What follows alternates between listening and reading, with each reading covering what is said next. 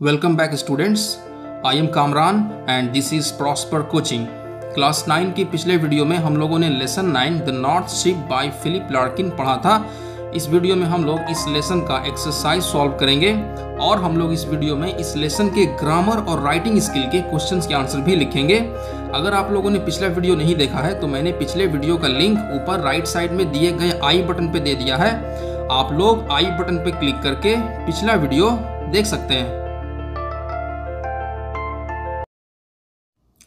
तो चलिए शुरू करते हैं। Let's start exercise one tick the correct answer from the given alternatives दिए गए ऑप्शंस में से करेक्ट आंसर में टिक लगाना है। तो क्वेश्चन नंबर वन है the number of ships sailing by were तो इसका करेक्ट आंसर होगा ऑप्शन नंबर ए थ्री हम लोगों ने पोएम में पढ़ा था कि पोएट ने तीन जहाजों को समुद्री सफ़र पे जाते हुए देखा। नेक्स्ट है question number two the wind carried the first ship to a तो इसका करेक्ट आंसर होगा option number C rich country क्या पढ़ा था हम लोगों ने पोएम में? हम लोगों ने पोएम में पढ़ा था कि हवा पहली जहाज़ को एक अमीर देश की ओर लेकर के गई। अगला है question number three the second ship turn towards the इसका करेक्ट आंसर होगा option number D east question number four है the decks of the third ship shone इसका करेक्ट आंसर होगा ऑप्शन नंबर बी फ्रस्टिली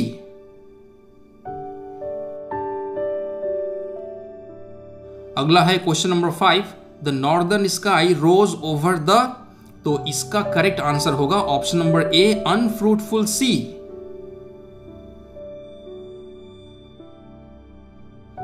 next है question number six the third ship was rigged for a इसका correct answer होगा option number A long journey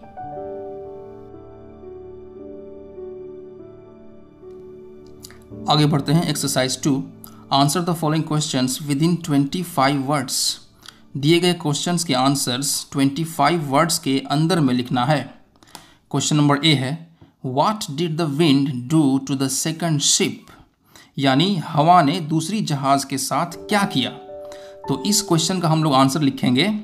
When the second ship started its journey towards the east the wind hunted it like a beast and anchored it in captivity मतलब जब दूसरी जहाज़ ने पूरब की तरफ़ अपना सफ़र शुरू किया तो हवा ने एक जानवर की तरह उसका शिकार किया और उसे अपने कब्जे में लेकर के एक जगह लंगर डालने पर मजबूर कर दिया। नेक्स्ट है question number B give any two points of difference between the journey of the third ship and the other two ships यानी तीसरी जहाज़ और बाकी दोनों जहाज़ों के बीच में दो डिफरेंस लिखना है।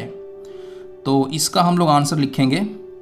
Unlike the other two ships the third ship was prepared for a long journey and it was not controlled by the wind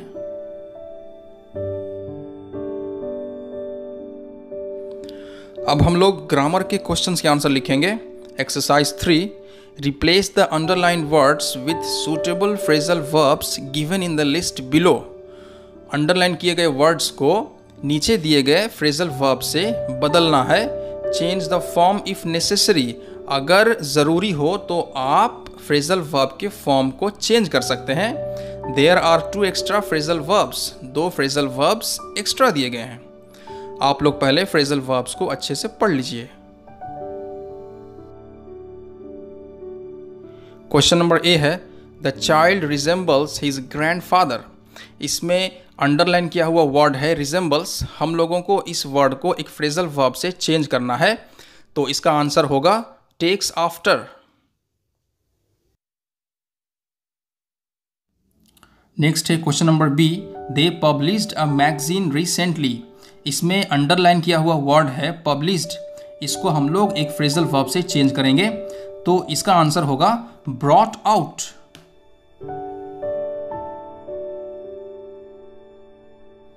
next है question number C my mother taught me not to disrespect any one इसमें underline किया हुआ word है disrespect इसको हम लोग एक phrasal verb से चेंज करेंगे। तो इसका आंसर होगा लुक डाउन अपॉन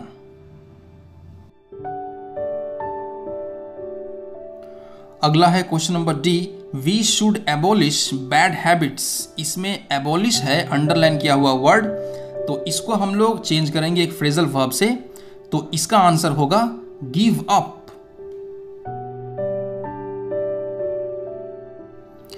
उसके बाद है question number E a new university was built at Cooch Behar इसमें अंडरलाइन किया हुआ वर्ड है बिल्ट तो इसका करेक्ट फ्रेजल वर्ब होगा सेटअप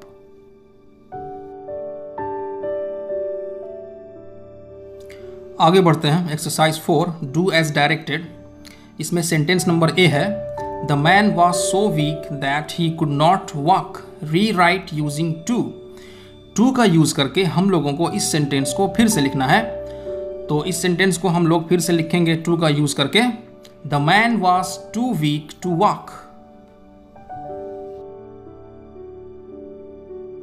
next है sentence number B Titir is one of the most intelligent girls in the class rewrite using the positive degree of the underlined adjective underline किए गए adjective का positive degree का use करके हम लोगों को इस सेंटेंस को फिर से लिखना है।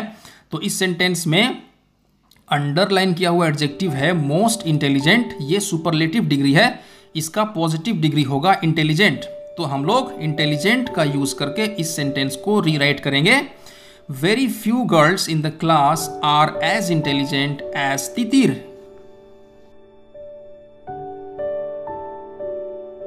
अगला है sentence number C as soon as he reached home it started raining heavily change into a negative sentence इस सेंटेंस को एक नेगेटिव सेंटेंस में बदलना है। तो हम लोग इस सेंटेंस को चेंज करके लिखेंगे। No sooner did he reach home than it started raining heavily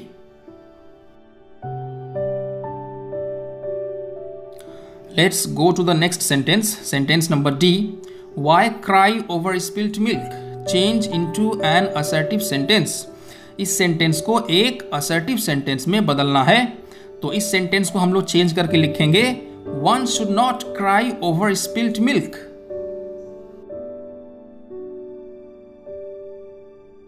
sentence number E blood is thicker than water change into an interrogative sentence इस सेंटेंस को एक इंटेरोगेटिव सेंटेंस में बदलना है।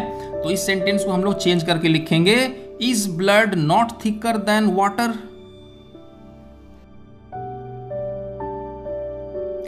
अगला सेंटेंस है। Sentence number F he told a lie intentionally rewrite using the noun form of intentionally intentionally का noun form use करके इस सेंटेंस को फिर से लिखना है। इंटेंशनली एक एडवर्ब है, इसका नाउन फॉर्म होता है इंटेंशन तो इस सेंटेंस को हम लोग री राइट करके लिखेंगे he told a lie with intention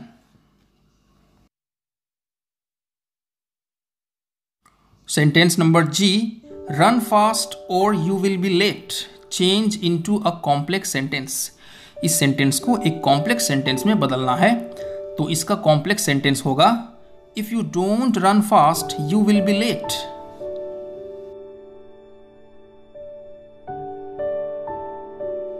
Next है sentence number H. The reporter made the news public. Rewrite using the verb form of public.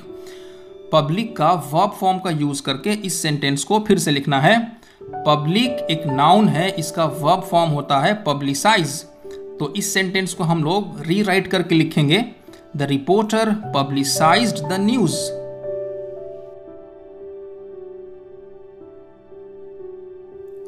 अब हम लोग राइटिंग स्किल के क्वेश्चंस के आंसर लिखेंगे.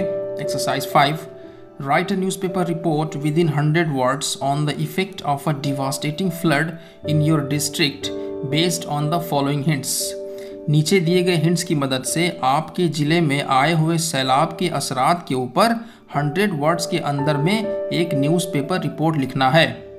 आप लोग सबसे पहले वीडियो को पॉज करके हिंट्स को अच्छे से पढ़ लीजिए, उसके बाद हम लोग रिपोर्ट लिखना शुरू करेंगे। तो चलिए अब हम लोग रिपोर्ट लिखना शुरू करते हैं। सबसे पहले हम लोग रिपोर्ट का हेडिंग लिखेंगे, devastating flood in Midnapore.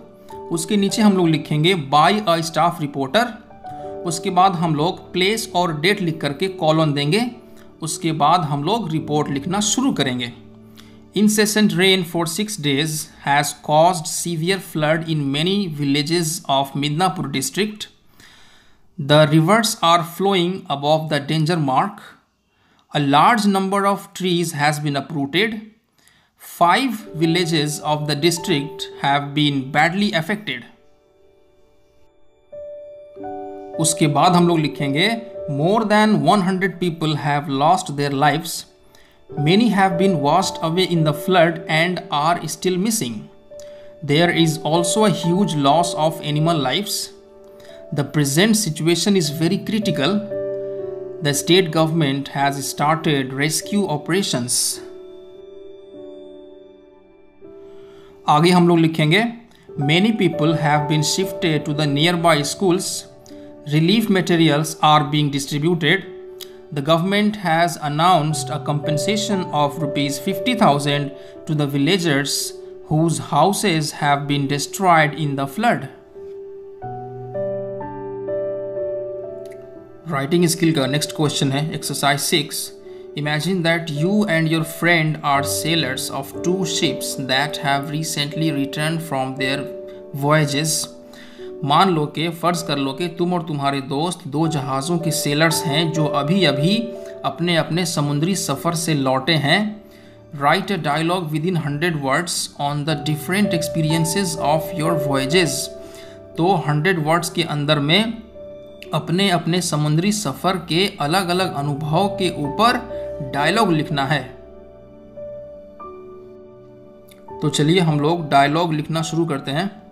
I hello Sajid how are you Sajid hello Arun I am fine what about you I I am also well when did you return from your voyage Sajid I return from my voyage to the Lakshadweep islands just three days ago I how was your trip Sajid it was not so good उसके बाद लिखेंगे I why what was wrong Sajid, the weather was not suitable for the voyage. I, really? Sajid, yes, I faced cyclones and severe rainfall. I, oh, that's very dangerous. Sajid, yes, it was a very horrible experience. Anyways, tell me about yours. उसके बाद लिखेंगे I my recent voyage was to the Andaman islands Sajid how was your experience? I, it was a wonderful trip. The sea was fine, the nights were cool, and the days were pleasant. Sajid, wow, that's very nice. I, okay, Sajid, I have to go. See you later. Bye. Sajid, bye, Arun. तो इसी के साथ इस lesson के सारे exercise complete हो गए आप लोगों के मन में कोई भी क्वेश्चन या कन्फ्यूज़न हो तो आप लोग वीडियो के नीचे कमेंट करके मुझसे पूछ सकते हैं। मैं उसका जवाब देने की पूरी कोशिश करूँगा। क्लास नाइन के नेक्स्ट वीडियो में हम लोग lesson ten the price of bananas by Mulk Raj Anand पढ़ेंगे। तो मिलते हैं बहुत जल्द नेक्स्ट वीडियो में। तब तक के लिए जय हिंद, जय भारत।